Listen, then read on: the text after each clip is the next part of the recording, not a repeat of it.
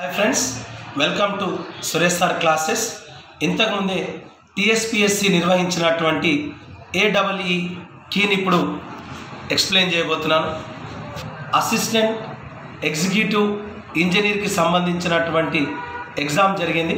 దానికి సంబంధించిన కీ చెప్తున్నాను. ఈ క్రింది వాటిని జతపరచండి అన్నాడు.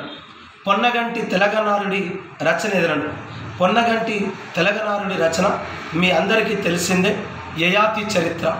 పొన్నగంటి తెలగరాని రచన యయాతి చరిత్ర.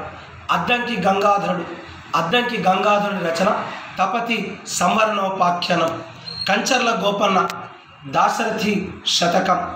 సింగనాచార్యుడు దశరథ రాజనందన చరిత్ర. అదేవిధంగా ఎక్స్ట్రా ఇచ్చిండు వైజయంతి విలాసం.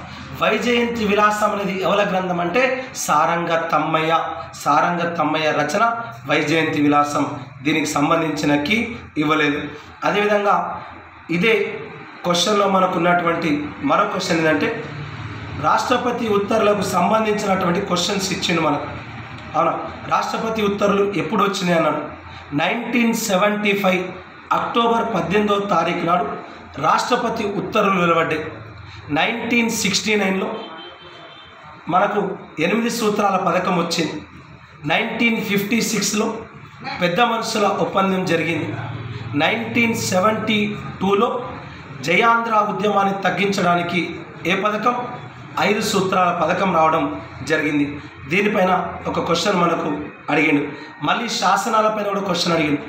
హనుమకొండ వెయ్యి స్తంభాల గుడి శాసనాన్ని వేయించింది అన్నాడు క్వశ్చన్ ఏమి ఇచ్చిందంటే వాడే ఆన్సర్ ఇచ్చిండు వాడే క్వశ్చన్ ఇచ్చిండు. తప్పుగా ఉన్న దాన్ని గుర్తించండి అన్నాడు. హనుమకొండ వెయ్యి స్తంభాల గుడి శాసనాన్ని వేయించింది రుద్రమదేవి అన్నాడు.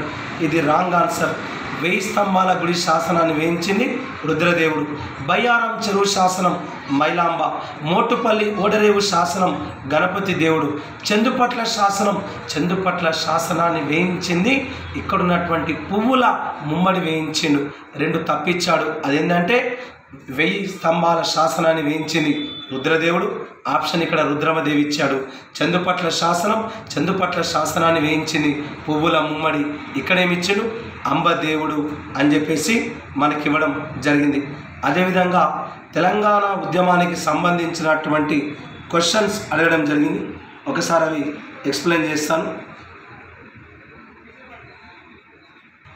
ఫలక్నుమా ప్యాలెస్ను నిర్మించిందవరన్నాను ఫలకున్మా ప్యాలెస్ను నిర్మించింది వికారుల్ ఉమ్రా బహద్దూర్.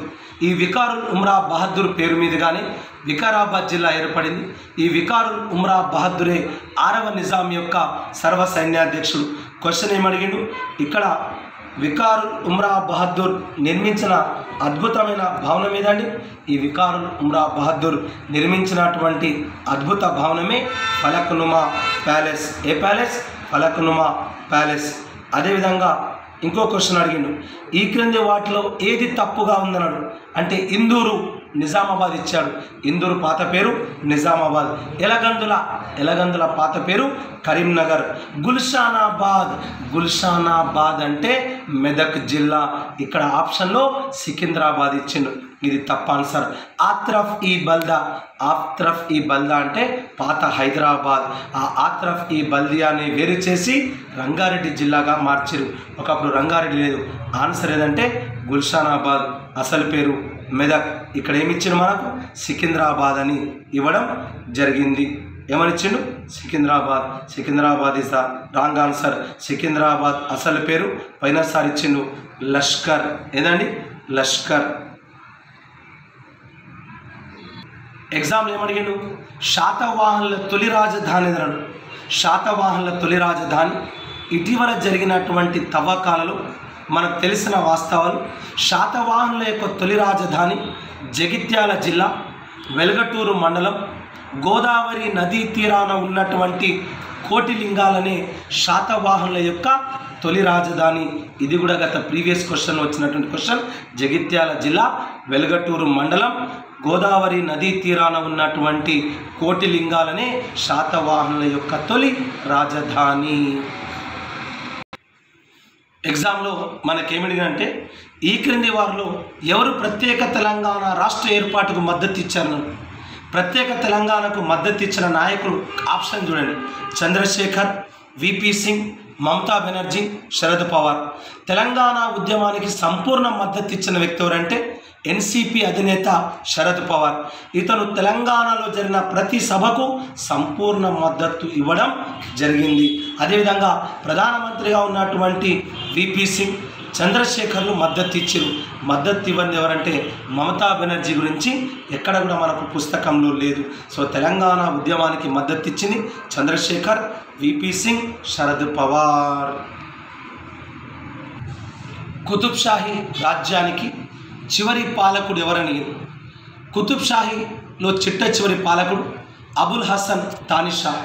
ఈ అబుల్ హసన్ తానిషా కాలంలోనే అక్కన్న మాదన్న కంచర్ల గోపన్న లాంటి వాళ్ళు పనిచేయడం జరిగింది.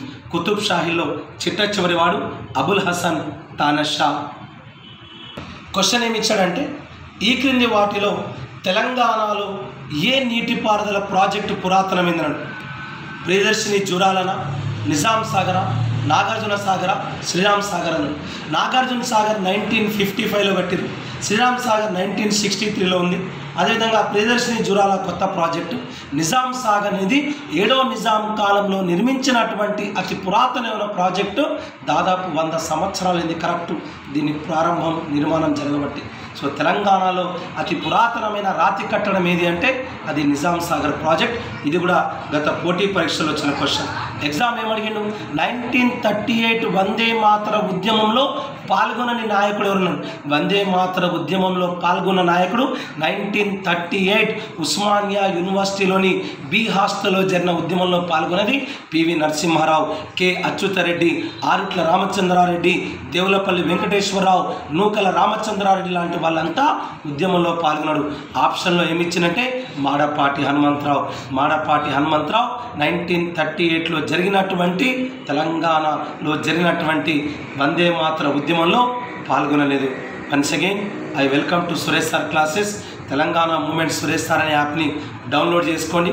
కేవలం తొంభై తొమ్మిది రూపాయలకే Telangana culture Telangana history thirty three districts information గత పోటీ పరీక్షలకు సంబంధించిన అవకాశాన్ని ఇస్తున్నాను. ఈ అవకాశాన్ని ఉపయోగించుకోండి. మీ ఉద్యోగాన్ని పొందండి. I wish all the best I wish all success thank you